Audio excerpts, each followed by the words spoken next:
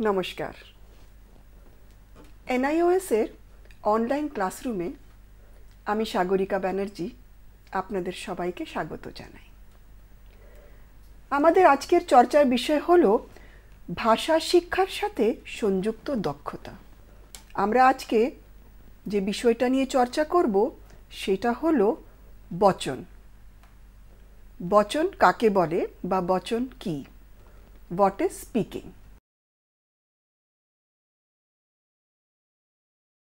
the articulate mammal এর লেখিকা জিন আইস্টন ওনার মতে বচনের অর্থ শুধুমাত্র শব্দ এবং বাক্যগুলির নিছক উচ্চারণ না।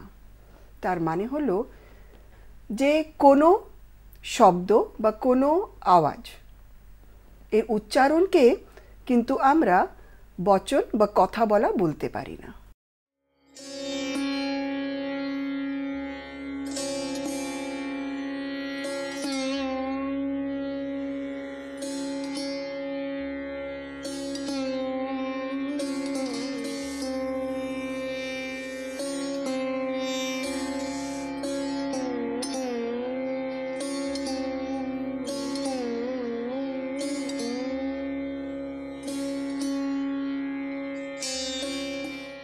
বচন প্রক্রিয়া কতগুলি উপপ্রক্রিয়ার সমাহার? এই বচন প্রক্রিয়া যখনও আমরা কথা বলি, আমাদের কথা বলার সাথে কিন্তু অনেকগুলো উপপ্রক্রিয়াও সাথে সাথে কাজ করতে পারি। এই প্রক্রিয়াগুলির সম্বন্ধে আমরা পরে পড়ব বা পরে জানব। কথা বলার আগে আমরা আমাদের মনে মনে পরিকল্পনা করি, কারণ আমরা এমন কথা বলব যা শ্রোতা বুঝতে পারবে। তার মানে হল বচন প্রক্রিয়া বা কথা বলার প্রক্রিয়ার প্রথম অংশ হল আমরা যে কথা বলব সেইটাকে পরিকল্পনা করব। আমরা যখন কোনো কথা বলি, আমরা কিন্তু আগে ভাবনা চিন্তা করি, ভেবে নিই, পরিকল্পনা করি, এই কথাটা কীভাবে বলা হবে? এই কথাটা বলার সময় আমাদের কি ধরনের ভাবনা রাখা উচিত? সামনের লোকটা, যে সামনের শ্রোতা আছে, সেই কথাটাকে কীভাবে নেবে? এই কথাগুলিকে ভেবে নিয়েই আমাদের কিন্তু কথা বলা উচিত।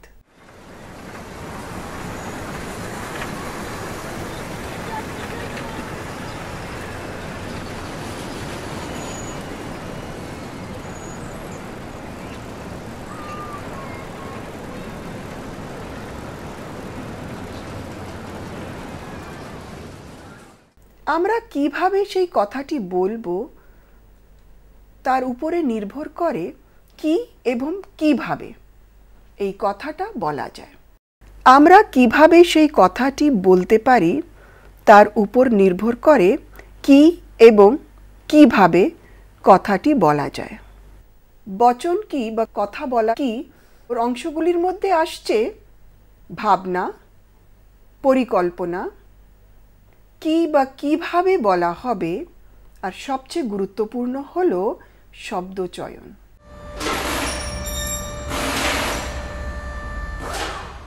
আমরা যা বলছি, সে কথাটা আমরা কোন বয়সের লোকের সাথে বলছি, সেটা কিন্তু বলার আগে ভাবতে হবে। উদাহরণস্বরূপ, আমাদের বচন শৈলীর মধ্যে একটি তফাৎ থাকবে। যখন আমরা আমাদের বন্ধুদের সাথে কথা বলব বা কোনো প্রাপ্তবয়স্কর সাথে কথা বলব। হয়তো আমরা একই কথা দুজনকে বলব, কিন্তু দুজনকে কথা বলার সময় আমাদের শৈলীতে কিন্তু পার্থক্য থাকবে।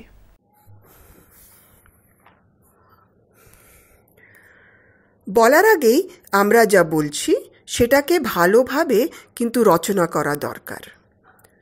বাক্যের সঠিক মানে যাতে বোঝা যাক।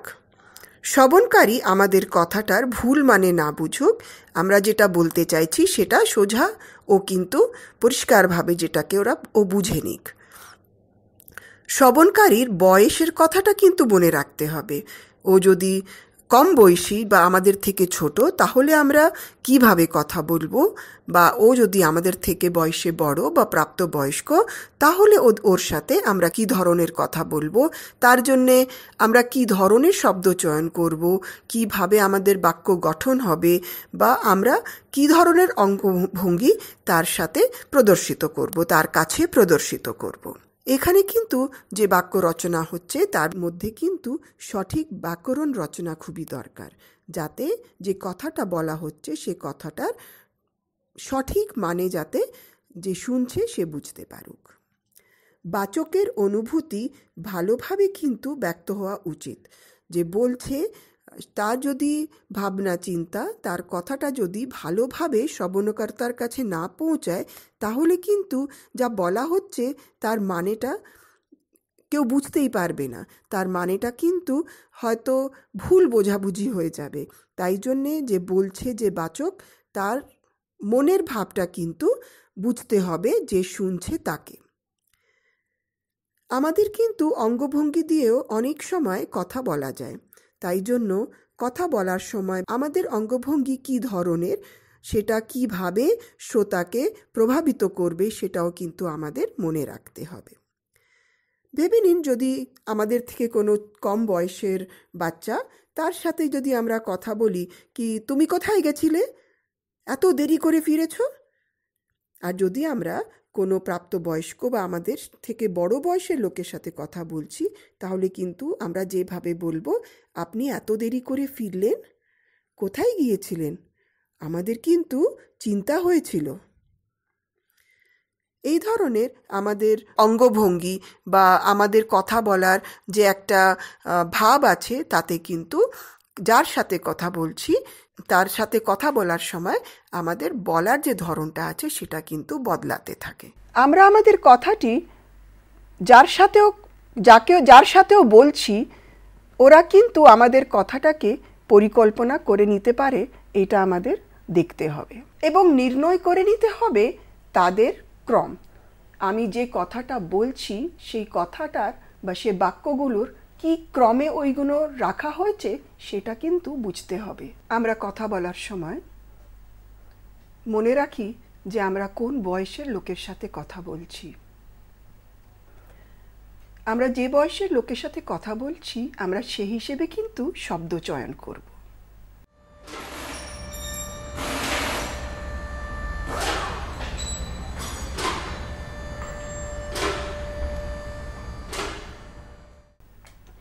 এছাড়াও এটাও দরকার যে আমরা কোন পরিস্থিতিতে কথা বলছি। পরিস্থিতি হিসেবেও শব্দচয়ন খুব গুরুত্বপূর্ণ। আসুন একটা উদাহরণে দেখি। এখানে তিনটি বাক্য আছে, আজ আমার ফিরতে দেরি হবে, মা রাগ করবে, আমাকে বাড়ির বাহিরে থাকতে হবে। এই তিনটি বাক্য গঠনের দিক থেকে কিন্তু খুবই সহজ। আর তিনটে বাক্যর মানেও বোঝা যাচ্ছে।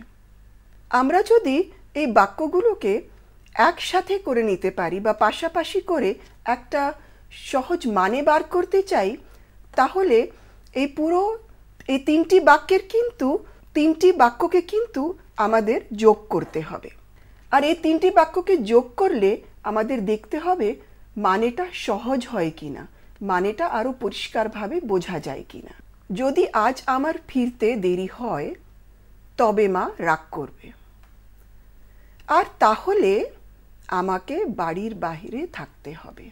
এই তিনটি বাক্য কিন্তু ওই বাক্য যেগুলো আমরা আগে পড়েছি। এই তিনটি বাক্যকে কিন্তু আমরা জুড়ে দিয়েছি বা যোগ করে দিয়েছি, যদি, তবে, আর তাহলে। আমরা যখন এই তিনটি বাক্যগুলোকে, বাক্যকে জুড়ে দেবার জন্যে এক যোগসূত্র স্থাপন করেছি, তখন দেখছি এর মানেটা কিন্তু আলাদা রকম হয়ে গেছে।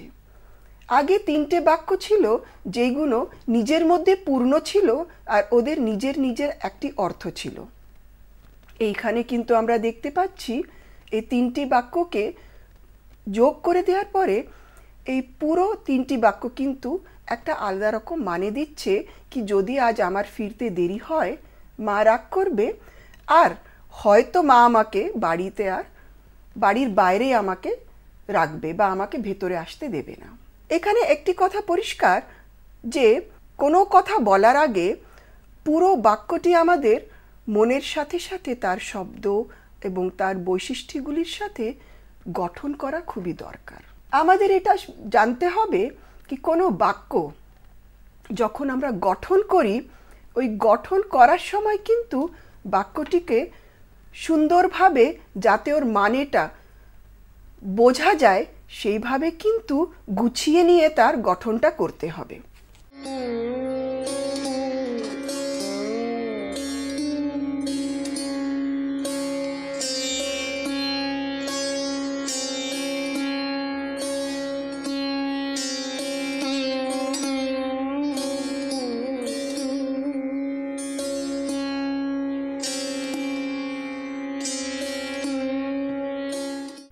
আমরা আগেও পড়েছি। কথা বলার আগে আমাদের কিন্তু পরিকল্পনা দরকার। কোনো কথা বলার আগে আমরা কিন্তু পরিকল্পনা করি। শব্দ চয়ন করি, তারপরে আমরা কথাটা বলি। এই পূর্ণ প্রক্রিয়াটা খুব দ্রুতভাবে কিন্তু হয়ে যায়। আমরা হয়তো সাধারণ, আমরা কিন্তু এটা বুঝতে পারি না। বেশিরভাগ ক্ষেত্রে দেখা গেছে, নিজের মাতৃভাষায় কথা বলার সময় এই প্রক্রিয়াটা খুবই সহজ। আর এটাকে বোঝা কিন্তু অতটা সহজ হবে না। কিন্তু যখন আমরা সেকেন্ড ল্যাঙ্গুয়েজ বা দ্বিতীয় ভাষায় কথা বলি, তখন এই ধরনের প্রক্রিয়াটাকে খুব ভালোভাবে, সহজভাবে কিন্তু বোঝা যাবে। বাচন বা কথা বলা ভাষা শিক্ষার সাথে একটি সংযুক্ত দক্ষতা। বাচন মানে কোনো শব্দ বা অক্ষরের উচ্চারণ মাত্র নয়, বরং ভাবনা ও পরিকল্পনার সাথে শব্দের মানেটা বুঝে তারপরে ওই কথাটাকে শোনা বা ওই কথাটার উত্তর দেয়া। কথা বলা বা বাচন একটি দ্রুত প্রক্রিয়া। যখন কেউ আমাদের সাথে কথা বলে বা আমরা কারোর সাথে কথা বলি, তখন কিন্তু সে কথাটার মানে বোঝার জন্য একটি প্রক্রিয়া আমাদের মনের মধ্যে চলতে থাকে। আমরা ভাবতে চেষ্টা করি যে এই কথাটার মানে কি হবে? এই কথাটা দিয়ে, এই কথাটা শুনে আমি কি ধরনের উত্তর দিতে পারব? এই জন্য বলা হয় যে বাচন একটি দ্রুত প্রক্রিয়া। শব্দগুলির সঠিক মানে কিন্তু বুঝে তারপরেই কিন্তু উত্তর দিতে হবে। আমরা যে শব্দগুলি শুনছি, যে শব্দগুলি বলছি সেই শব্দগুলি কিন্তু যখন আমরা শুনি বা শ্রবণ করি, তারপরে সেই শব্দগুলির সঠিক অর্থ বার করার পরে তার উত্তর দিতে পারি। তাই জন্য কথা বলা বা বাচন একটি এমন প্রক্রিয়া যাতে আমাদের অনেকটা ভাবনা, চিন্তা, পরিকল্পনা করার দরকার। আমরা যদি কথার মানে না বুঝে উত্তর দিতে চেষ্টা করি, অনেক সময় এটা হতে পারে যে যে উত্তরটা আমরা দিচ্ছি, সে উত্তর কিন্তু ভুল হতে পারে বা যে মানেটা আমরা বুঝতে পারিনি, সেই মানেটাকে না বুঝেই আমরা যখন কথা বলব, হয়তো আমরা একটা এমন কথা বলব যেটা প্রাসঙ্গিক হবে না। এই জন্যে বলা হয় যে শব্দগুলি যখন বলা হয় যে শব্দগুলিকে শুনে তার মানে বুঝে, তারপরে কিন্তু সেটার উত্তর দেওয়া বা সেটা নিয়ে কোনো চর্চা করা দরকার। আমরা সেকেন্ড ল্যাঙ্গুয়েজ হিন্দির সম্বন্ধে যদি কথা বলি, হিন্দিতে বাক্য গঠন হলো সাবজেক্ট তারপরে অবজেক্ট লাগে, আর তারপরে ভার্ব লাগে। তাহলে আমরা যদি একটি বাক্য হিন্দিতে বলছি, তাহলে আমাদের পরিকল্পনাটা কিন্তু এই ধরনেরই হবে যে আমরা প্রথমে সাবজেক্টটাকে রাখব, তারপরে অবজেক্ট আর তারপরে ভার্ব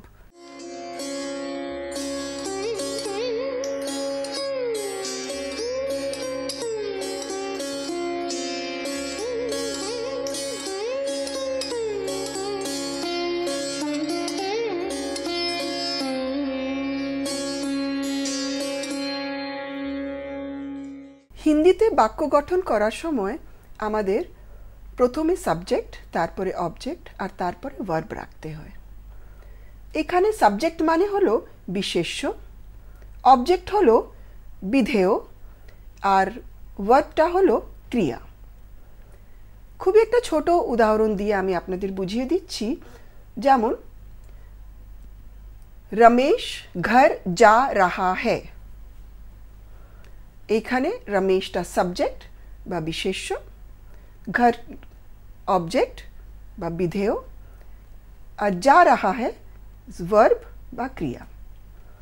এই ধরনের হিন্দিতে কিন্তু বাক্য গঠন করার সময় আমাদের আগে পরিকল্পনা করতে হয়, তারপরে আমরা কিন্তু বাক্যটাকে গঠন করতে পারব।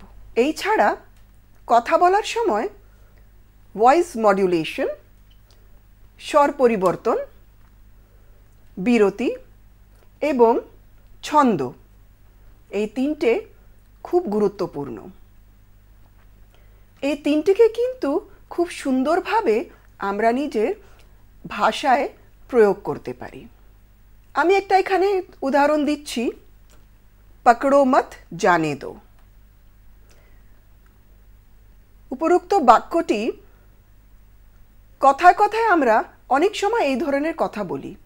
কিন্তু আমরা এইখানে যদি বিরতিকে প্রয়োগে এনে আপনার সাথে এই বাক্যটাকেই দু ধরনে যদি কথা বলি, আপনি দেখবেন এই বাক্যটার মানে কিন্তু সম্পূর্ণ আলাদা পাওয়া যাবে। আমাদের ভাষাগত ব্যবহার অনেকগুলি প্রক্রিয়া দিয়ে তৈরি।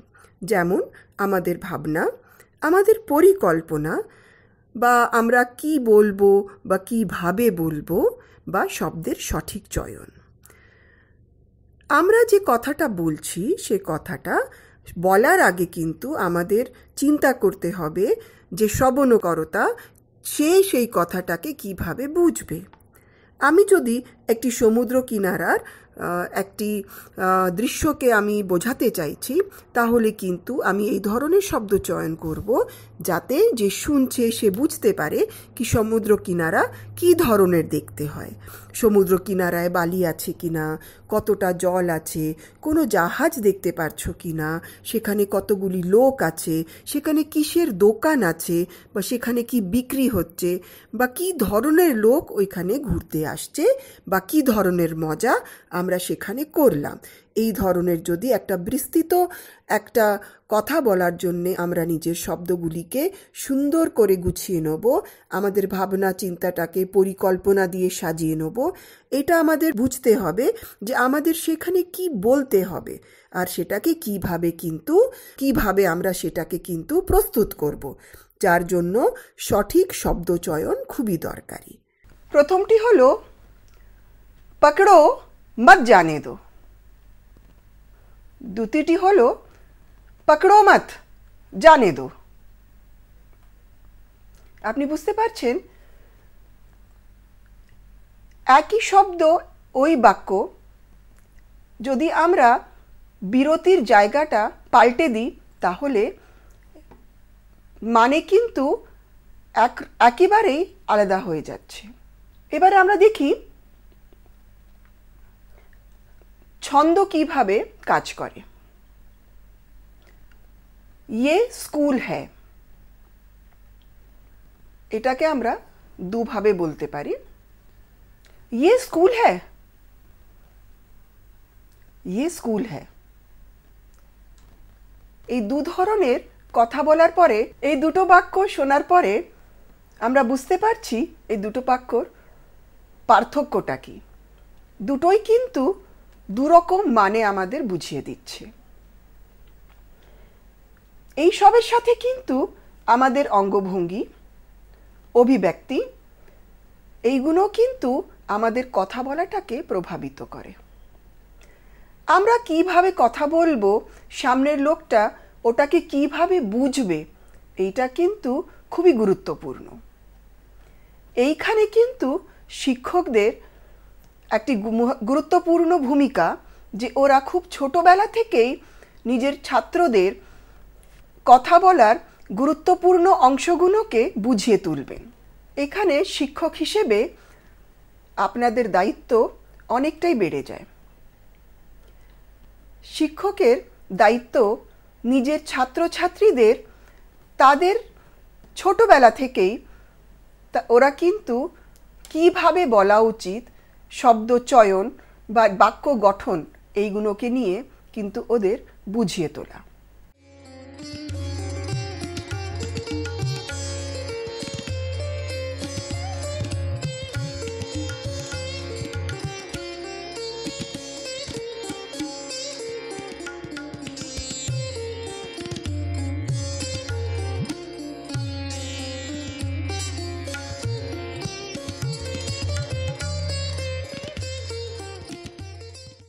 এইগুলো কীভাবে সম্ভব, আমরা নিজের আগের পর্যায়ে এইগুলোকে নিয়ে চর্চা করব।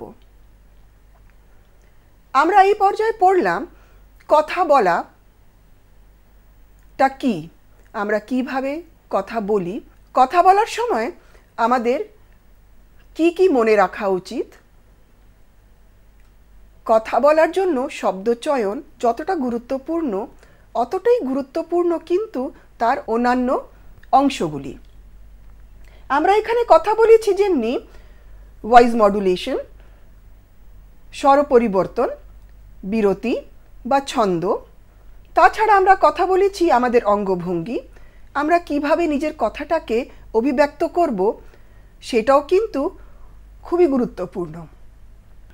আমরা এই পর্যায়ে জানলাম, কথা বলা কিন্তু খালি উচ্চারণ নয়, কথা বলা একটি প্রক্রিয়া।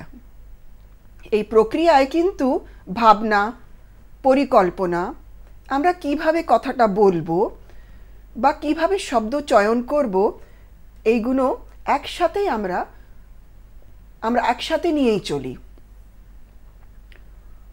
এর সাথে আমাদের এটাও এটাও জানতে হবে, আমরা যার সাথে কথা বলছি, আমরা কোন পরিস্থিতিতে কথা বলছি বা তার বয়সটা কী। আমরা যখন কথা বলি, এই প্রক্রিয়াটা কিন্তু খুবই দ্রুত। মাতৃভাষায় এই প্রক্রিয়াটাকে বোঝা কিন্তু সহজ নয়।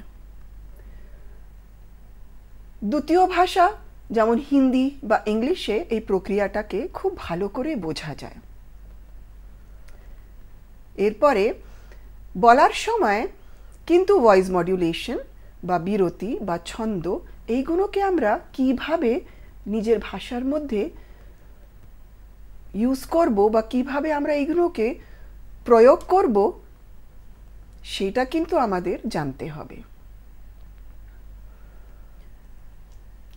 শিক্ষকের দায়িত্ব কিন্তু খুবই গুরুত্বপূর্ণ হয়ে উঠছে যে নিজের ছাত্র বা ছাত্রীদের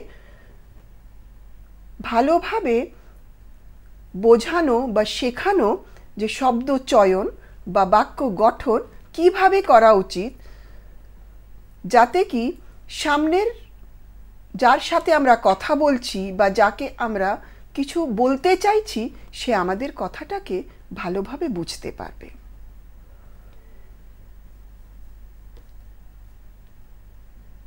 মনে করছি আজকের চর্চাটা আপনাদের জন্যে উপকারী হবে। নমস্কার।